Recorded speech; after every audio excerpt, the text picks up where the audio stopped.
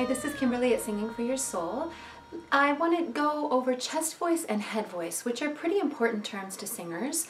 And many of you have probably heard about them and are probably already clear about what they are. So if that's the case, then you don't need to watch any further. Go on to something else. But if you are not familiar with those terms, let's clear them up for you. You know, I've actually had a lot of actors that I've worked with who have done vocal work but weren't clear about those terms. And a lot of clients who've come in, so that's why I'm doing this video. This won't be new to any of my current clients. This is for people who have never had this information before. So we're just going to discover chest voice and head voice and why we call them that. So go ahead and take your hand and put it right on your chest, and then we're going to make a low sound in the lower part of your range. Ha, ha. Kind of like Night of the Living Dead. so what did you notice when you were making that sound? I'm hoping that you were feeling some vibration in your chest.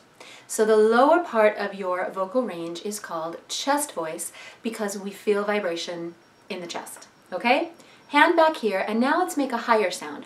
Woo! Woo! Woo! And guys, you can make these sounds too. Yes, you can. Woo! Okay? What did you notice in your chest? Did you feel the same kind of vibration that you were feeling when you were ah low, Night of the Living Dead like? Probably not, hopefully not, because I don't know why you would. Because as we go higher, we start to feel more sensation in the head, and that's why we call it head voice. So you have a natural transition between the lower part of your range where you feel vibration in your chest and the upper part of your range where you start to feel it in your head. That is important because the voice doesn't always feel the same in all parts of our range. And if you're feeling like, oh, I'm stuck, I, I, I can sing pretty good in my lower range, but then I try to go too high and I just can't go high. I can't do it. It's probably because you don't know how to access your head voice and you haven't trained the muscles how to transition gracefully between your chest voice and your head voice.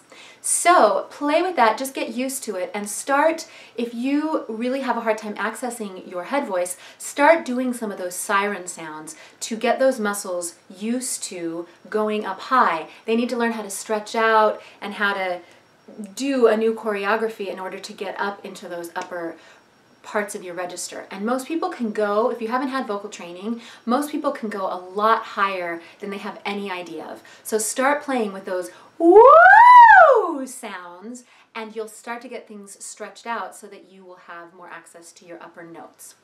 Have a good time with that. Hope it's helpful. And if you like this info and you're interested in more, go below, go to our website, subscribe to the YouTube channel, like us on Facebook, yada yada. Mwah. Peace out.